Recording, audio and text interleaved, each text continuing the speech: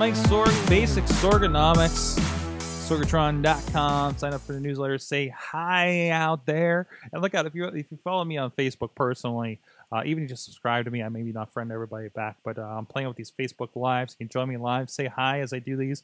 Uh, usually late at night. Um, yeah, Mondays and Tuesday nights. When we roll these out throughout the week, that's when my thinky cap is on and we talk about well, whatever it is that we talk about on these shows. Today, it's going to be about uh, education to a certain extent. So, education. We're doing a lot of stuff. We're doing. Uh, we're trying to build up this uh, some concepts, some sidekick media services concepts, an educational series. Just did one on Insta content, talking about Periscope, Snapchat, and the like. We're doing one here coming up about Squarespace. Um, and, and, and, and I go back to a talk from Refresh Pittsburgh and I can't recall the, the company in particular. I hope I can remember to link it later.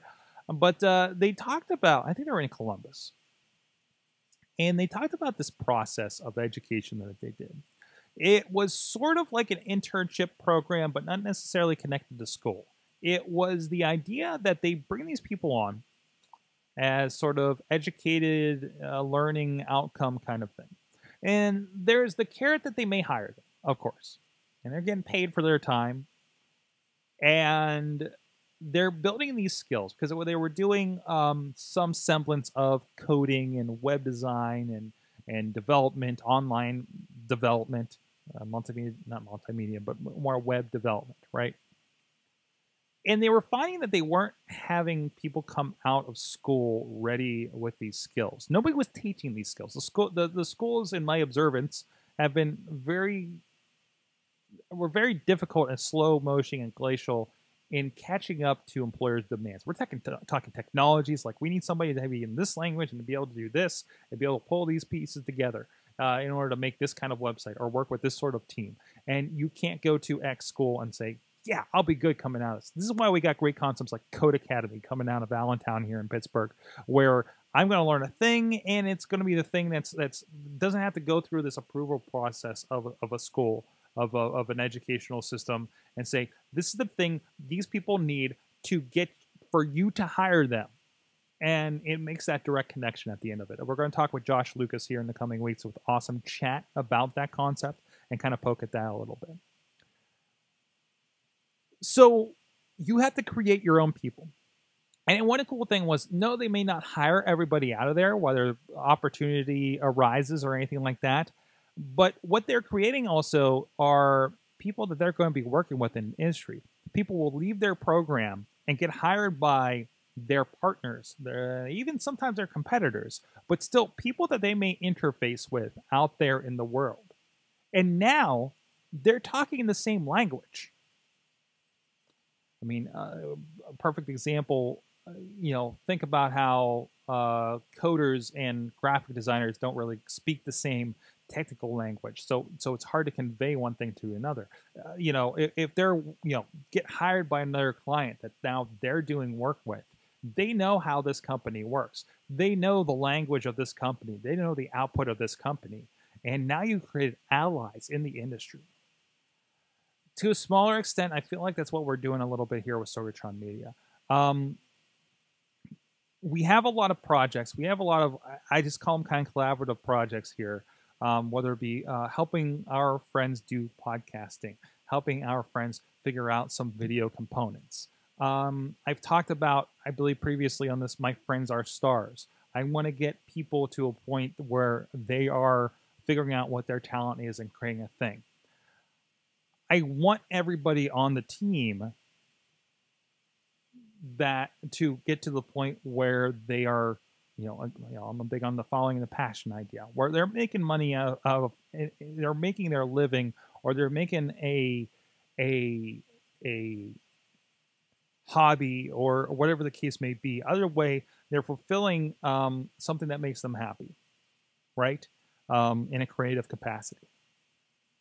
So that turns into people that you know, I, I, gave one, you know, one guy a spare computer and threw iMovie on it. It says, "Here, can you? Would you like to poke at this? Could you help me with some videos?" Right? And now it's getting to the point where he's starting to get some gigs. And now he's doing so good with the videos. Man, I need to find this guy a better computer so I can give him Final Cut and see what he can do. to the point where I might have another video editor on my hands that I didn't before, that didn't go to school for this, but is rediscovering a passion that I know he, we shared in high school about that. Um, or even these workshops that we're doing where we're showing people, you know, hey, here's how you use Squarespace. Hey, here's how you do this. Hey, here's how this happens. Maybe it's a client that learns enough about Twitter, but then determines they can't handle a Twitter account, whether it be time, resources, whatever the case may be. They know enough about that and that we're the experts in that that they can come back around and maybe they become a client or maybe they be, become somebody that we educate somebody for them on how to operate their accounts, their presence online. And now, again, we're bridging that gap in the language, right? We're educating people to become our partners, our clients, our collaborators, maybe in the future, right? I think that's really important. And, and, and, and, and you know, kind of expanding on in, in other looser ways from this original concept I learned at Refresh Pittsburgh, it got my mind tickling on these ideas. That's why I love the idea of Slack and everybody's in there and talking with each other. We just started bringing some people in that weren't direct collab- collaborators with us currently on on they're not doing shows with us they're not doing productions with us currently but you're people that i often have conversations with or have done a podcast with or hosted or been on or whatever the case may be over the years, people I find creative uh, colleagues, peers.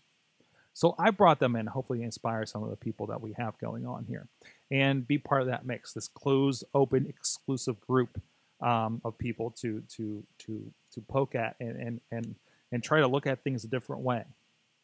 And again, trying to create people that are speaking the same language to help build something up, right? Like these people, maybe they're listening to this and and are potentially interested in this in my Facebook Live group right now. They're popping up here at 12:41 in the evening on a Wednesday morning. That was that was the wrong thing to say.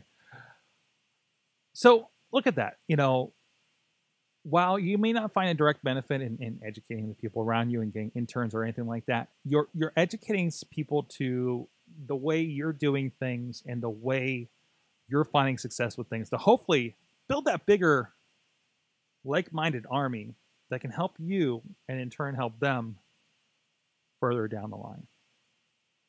So think of that, think about that kind of educational side of things.